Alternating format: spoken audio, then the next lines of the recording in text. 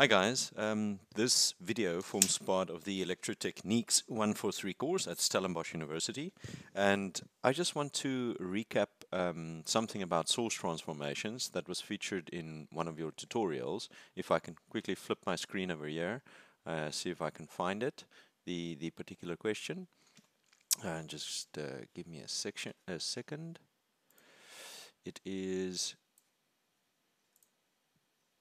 this one. Okay, so what we what you had is you had this question over here in the tutorial, and the key to solving it was to remove this 16 ohm resistor that is in series with the current source, and also this 260 ohm resistor that's in parallel with this 520 volt and it says use source transformations to find V0 so obviously we don't have a source transformation for this one and for this one but if you remove those then you see you've got a nice case where you've got a, a current source in parallel with the resistor and you can use source transformations to simplify this into a, an equivalent voltage source with the series resistor. Okay so how and why can we leave out this 16 ohm resistor and also this 260 ohm uh, resistor? All right, so let me get back to my, my explanation over here.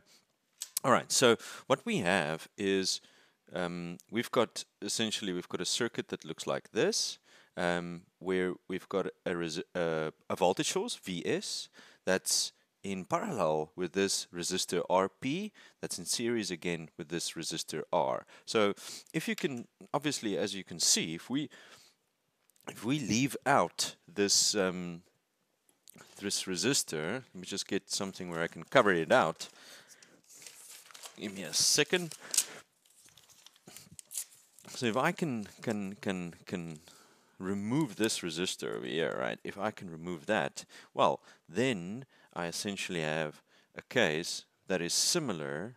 This, this looks similar to my normal source transformation case, which is over here, that I can transform into something like this, and vice versa. Remember, this is what we call a bilateral transformation, and we can transform between these two cases using this um, equation over here. We derived this in class, and it's also very clearly stipulated in your textbook. So just review that section. I think it was um, lecture 15 in the in the course, but um, yeah, just review that to make sure you understand why you can switch between these two cases. But let's see how can we and why can we now essentially remove this resistor to make things easier for us?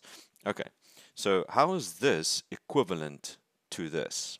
So what we're going to do is we're going to, to prove that, we're going to use similar uh, uh, concept as we used to prove that this is equivalent to this. So what we're going to do here is we are going to add a load resistor Let's add a load resistor over the terminals over here. Okay, RL. So the same load resistor is added over terminals A and B. Here's terminals A, that's terminal B.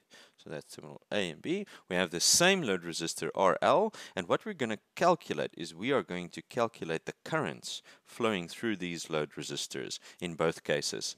And if we can say that the, these currents are the, um, the same in both cases, well, then we've got um, then we've essentially proven the um, the equivalence over here that this circuit is equivalent to this circuit. So let's calculate, looking at this circuit, let's calculate IL. As we can see, IL, the voltage over this resistor over here on this node is Vs. And this entire voltage is just falling over these resistors over here. All right, so, so IL in this case can be calculated using Ohm's law. IL is equal to this voltage, Vs, divided by the sum of these two resistors. So it's R plus RL. Okay, so that's my first expression. Let's create a little bit of a separation over here.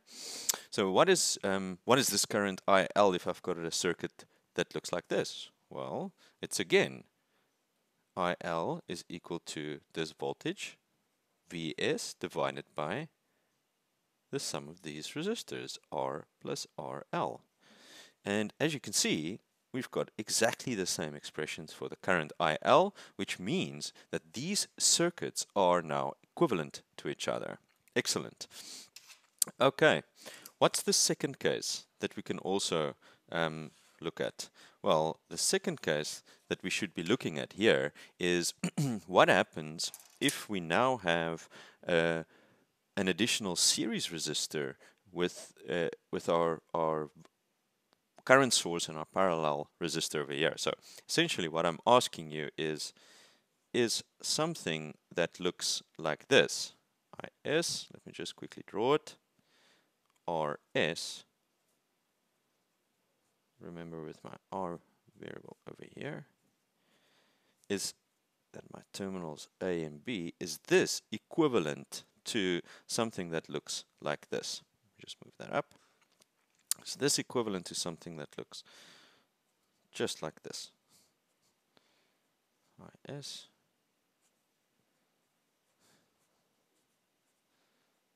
A B okay so and this is R. How am I going to to to prove that or to calculate that? Well same thing applies. If I oh sorry let me just move that a little bit so that you guys can see the this clearly. Let's zoom. Okay. Okay so how are we going to do this? Same thing. We're going to calculate the current flowing through a load resistor over here, RL, IL. So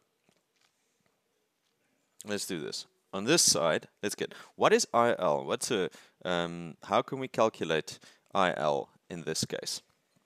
Well, we can use a number of a number of methods. Probably the simplest would be, I know that IS is flowing just through this point, this resistor over here, and it's dividing between these two branches. And there's only two resistors. Then I can use an equation for um, current division, which says that IL is equal to my source current, right, times the resistor R, the other resistor R, divided by the sum of RL. Remember, so in this equation, if I want to calculate the current flowing through a particular resistor, then it's the um, the other resistor here, R, in the other branch, divided by the sum of the two resistors. This equation is only valid for the case of two simple resistors. Go through the derivation of it again and also take note of the case where you have n resistors in parallel. Right, but any case. So this is the current for this particular case flowing through the load resistor. What is the what is the current flowing through the load resistor in this case? Well, we have IL is equal to same thing, IS divided by R over R plus RL. And as we can see, these two are equal. So again, we've now proven that this form is equivalent to this form over here.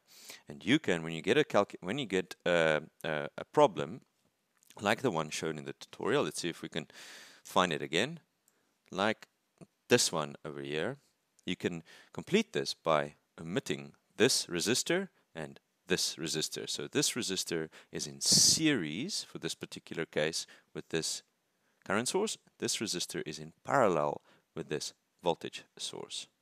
Okay, I hope that helps, guys. Please ask me if, um, remember to ask us if something's unclear. The more questions you ask, um, if you don't understand, the better your understanding of the work will become. Okay, thank you.